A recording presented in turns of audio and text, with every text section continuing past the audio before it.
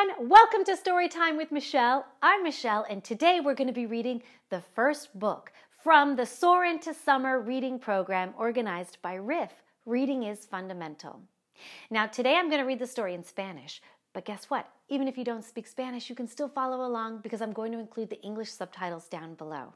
After I've shared the story, I'm going to give you some details on how you can read all the selections from the Soar into Summer reading program.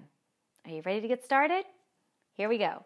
Our first book is El primer verano del zorro Fernando por Mary Holland.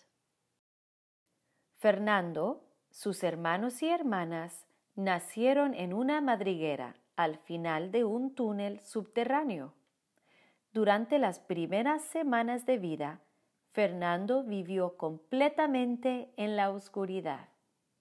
Fernando es el más pequeño de la camada, el más chiquito de todos los zorros rojos.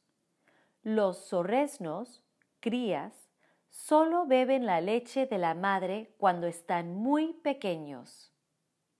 Cuando tienen aproximadamente cinco semanas de nacidos, los zorresnos deciden salir fuera de la madriguera para ver cómo es el mundo. Cuando ellos salen a la superficie por primera vez, los zorresnos se quedan cerca de su hogar. La madre continúa cuidando y amamantando a sus zorresnos. Hoy Fernando es el tercero en la fila.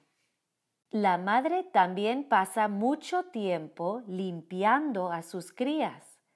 Ella utiliza sus dientes para atrapar a los insectos y quitar los cadillos que se encuentran en el pelaje y luego los escupe.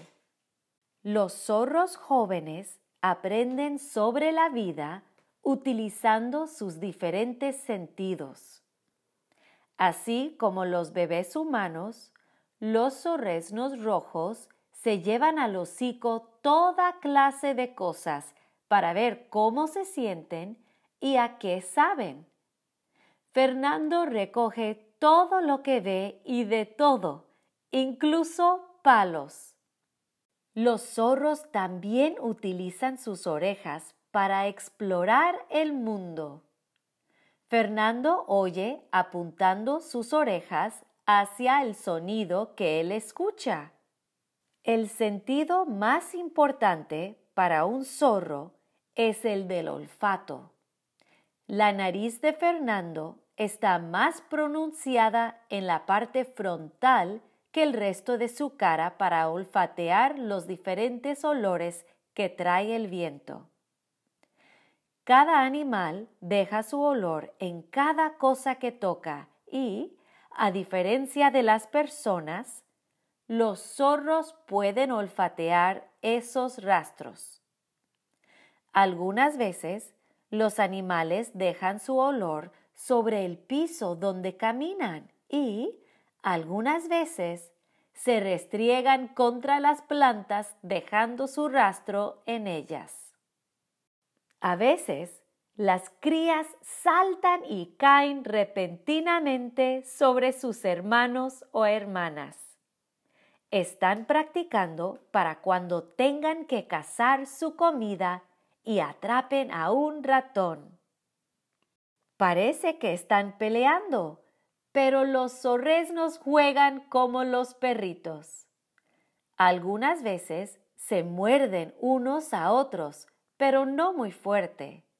Los zorresnos pretenden pelear para ver quién es el líder y para aprender cómo defenderse de un halcón hambriento o un coyote. A pesar de que Fernando es el más pequeño de su camada, nunca se rinde y a veces es el ganador. Tal y como los bebés humanos, cuando los zorresnos crecen, empiezan a comer comida sólida. Ambos padres empiezan a traer comida a sus crías. Los padres dejan la madriguera para cazar y entonces regresan y dejan lo que han atrapado. La primera cría que lo recoge es la que se lo come. A Fernando no le gusta la víbora que su madre ha traído, pero le gusta comer ardillas. Muy pronto, la madre no deja que los zorresnos beban más de su leche. Algunas veces, la madre tiene que gruñirles para que ellos no se le acerquen. Sin la leche de su madre, las crías se ponen muy hambrientas. Esto hace que estén más interesadas en cómo aprender a encontrar su propio alimento. Para cuando termina el verano, los zorros jóvenes obtienen su propia comida. Fernando es muy bueno para cazar topos. Cuando el clima se empieza a poner frío, Fernando y sus hermanos duermen afuera, sobre la tierra, y no usan más su madriguera.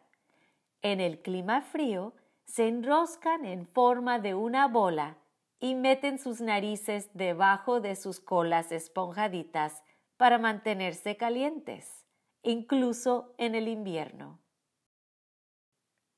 En la próxima primavera Habrán varias madrigueras y camadas nuevas de zorros en los bosques y en los campos.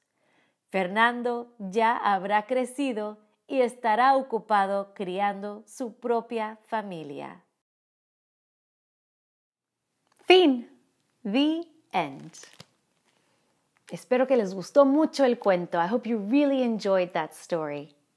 Be sure to check the description down below for a link to all of the Soar into Summer reading program books that we'll be reading this summer. I plan on reading all of them and sharing them with you, and I hope you'll check out these books and we can read them together. Doesn't that sound like fun?